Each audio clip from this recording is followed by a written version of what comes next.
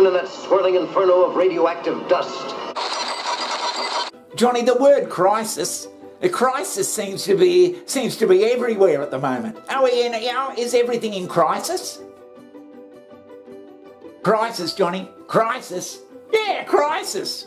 Well, there does seem to be a lot of crises happening at the moment, Johnny. Everywhere you look, everywhere you look, there seems to be a bloody crisis. That unless something is done and done quickly, man, as the dominant species of life on Earth, would be extinct within a year. I'm not sure whether we've got any more crises uh, these days than we had back in the good old days. Uh, there seems to be a bloody uh, uh, a predetermination to call something a crisis just because it's going wrong, but perhaps these things are in crisis. What are a couple of the crises you're thinking about, Johnny? Well, Johnny, we've got the Ukrainian crisis. What caused that? Escalating crisis is raising alarm bells across the globe. Putin has nuclear weapons, enough weapons. Let us start with the definition of crisis. Ukraine currently in an energy crisis? Is that fair to say? The Ukraine crisis, well, that's been brought on by, uh, by uh, decades of, uh, of gutless non-planning by with the so-called United Nations. United Nations, they're fucking useless. Uh, if they'd have been a bit more forthright and open, perhaps in decades gone by, uh, it may not have eventuated to this, and uh, it's just a general bloody lack of bloody planning. And Johnny, we've got the hospital and medical crisis. What caused that one? One of New South Wales's biggest hospitals is allegedly at crisis point. The hospital crisis, Johnny. Well, it seems that this particular crisis has been brought on by years of uh, decades of uh, careless planning, uh, not planning in the proper manner, uh, funds wasted. Uh, generally, generally, Many, but this year the hours wasted by ambulances waiting outside hospitals and not answering 999 calls has risen exponentially. Generally uh, not planning because that is 2022 after all, and we've been doing this for a long time now in this sort of modern way, and obviously things haven't worked out the way that we planned. Just by definition, they haven't bloody worked out. I mean, is society getting any better or what? Or are we just going into fucking crisis? And then we've got the housing prices going through the roof, Johnny. What's caused that?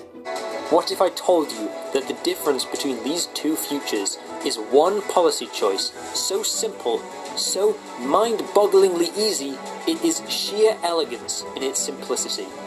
It's called building more goddamn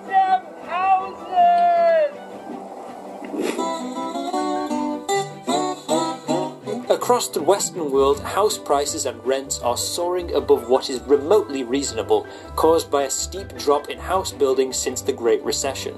It's been brought about by decades of fucking around and, and lack of planning, uh, lack of foresight, and uh, lack of political will. Well, yeah, I suppose. We can pinpoint the root cause of most of society's problems right now down to houses being so expensive.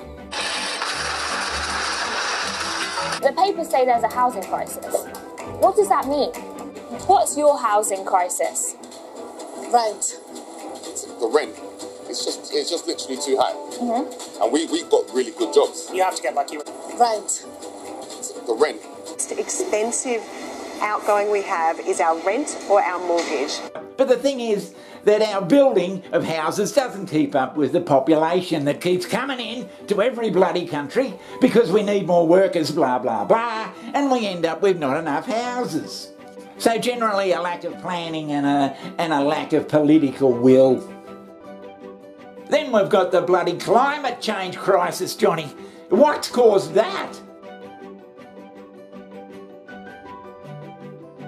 Again, that comes down to uh, decades of uh, farting around, uh, lack of planning, a lack of structure, a lack of foresight into seeing where we're actually heading in this particular bloody, this particular sector. And then we've got the bloody educational system failing. The dumb kid syndrome, I call it, Johnny. yeah, yeah. We seem to be turning out kids that are fucking dumber than that they would have been if they hadn't gone to school at all. The deep state is dumbing down your children. In fact, American children today are dumber than ever before, and they're getting dumber faster than you can imagine. Well, it's probably a bloody case of decades and decades of uh, government overreach, Johnny. And if public schools taught individuals how to think, if they promoted intellectual curiosity and produced citizens healthy in body and mind, then few would question their value. But beneath the veneer presented by the bureaucrats that run this institution, a darker reality emerges. I mean, we were turning out kids that could read in 1903.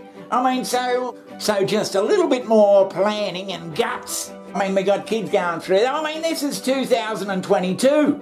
How come we're turning out kids that can't bloody read in 2022? So, Johnny, how can we how can we? It seems that this particular crisis has been brought on by years of uh, decades of uh, careless planning, uh, not planning in the proper manner, uh, funds wasted, uh, generally, generally uh, not.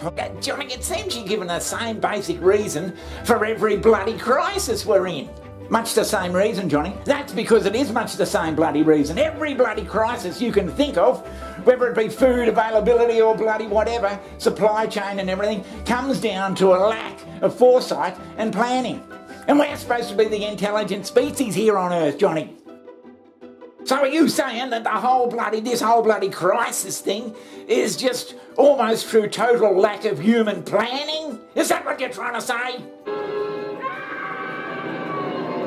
So, Johnny, how can we fix this bloody situation where the world seems to be in crisis over, over everything? How can we fix it? I mean, is society getting any better or what? Or are we just going into fucking crisis? I mean, what's the use of work in the last 150 years? Everybody working together to develop a new, a new and vibrant society. If after 150 years we're all in crisis, what's the point? He, I, at first, I thought he was joking.